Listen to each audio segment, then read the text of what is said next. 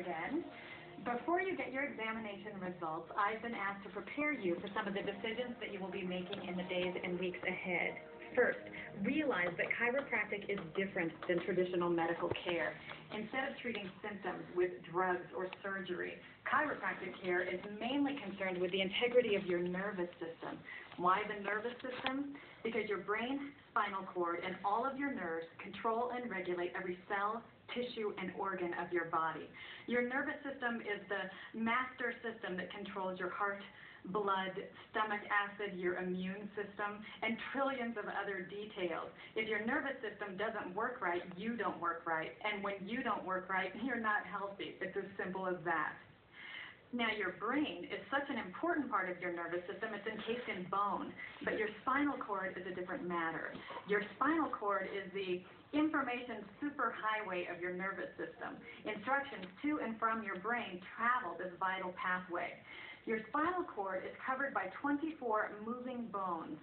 Nerve roots, one on each side, exit the spinal cord from between each spinal bone to connect your brain to every part of your body, from your nose to your toes.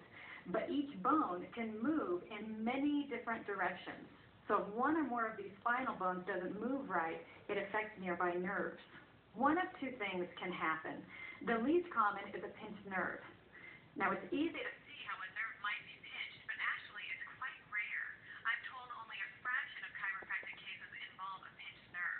Instead, it's more likely that nerve tissue is stretched, chafed, or irritated in some way. This inflames adjacent soft tissue. Like a short circuit, nerve impulses become distorted, confusing your brain's ability to properly control and regulate your body. This is called the vertebral subluxation complex, or more simply, a subluxation. Your examination identified the exact location of any subluxations, and now you have four choices. The first is to ignore your problem and hope that it resolves on its own. And many health problems do resolve on their own, but rarely subluxations. In fact, if neglected, spinal problems usually worsen. This is what the side view of the neck should look like. This is the shoulder, and up here is the jaw. From the side, the neck should have a graceful forward curve, and there should be equal disc spacing between each bone.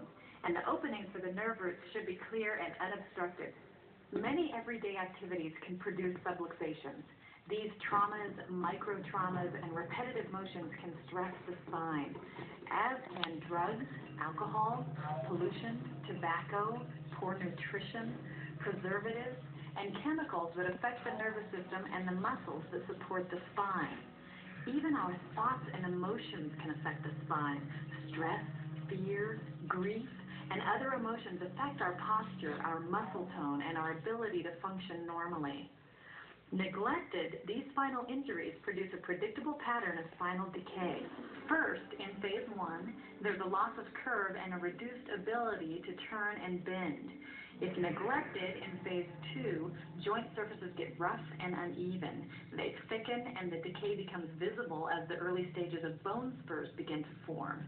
If still neglected and left uncorrected, the problem worsens in phase three. Almost as if the body is trying to mend a broken bone, spinal joints fuse together.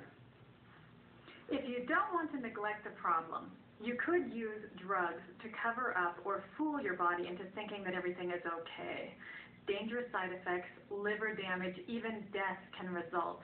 If this is your choice, you'll need to be referred to a different practitioner. If a drug solution is unappealing, the surgical choice may be even worse.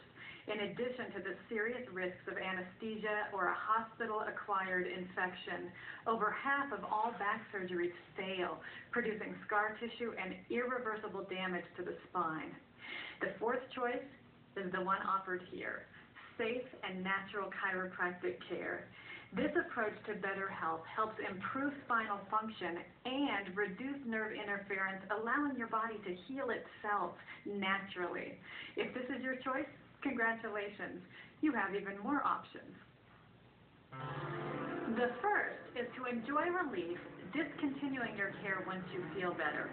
Careful. You'll probably feel better long before supporting muscles and ligaments are fully healed, predisposing you to a relapse. If so, you'll be welcome back and the whole process starts over again. Once you feel better, continue your care to fully strengthen supporting muscles and ligaments and achieve maximum healing. Retraining muscles and soft tissues takes time. Then, many of us enjoy regular chiropractic checkups so we can do and be our best. Think of chiropractic care like any other healthy habit, such as brushing your teeth or periodic eye exams. I've opted to um, take chiropractic to the wellness level. I think having the regular adjustment keeps you in, in good, healthy state and good physical well-being. I cannot imagine 20 years down the road not going on some sort of regular basis. To get the best from your chiropractic care, keep your appointments. Each visit builds on the ones before, so missing a visit can slow your recovery and jeopardize your results. You have to kind of stay with it and, and uh, be willing to make a little bit of uh, uh, effort to, to get some relief. I usually can run over in my lunch hour or an hour before work, and I can jump in and jump out, and I'm finished. Second, become more active. Research shows that bed rest or a sedentary lifestyle can actually slow the recovery process. Recommendations may include exercises, stretching, swimming, or brisk walking. And this would be a good time to adopt other healthy habits such as drinking more water, improving your nutrition, and getting the proper rest. Ask about specific home care procedures that can enhance the healing process.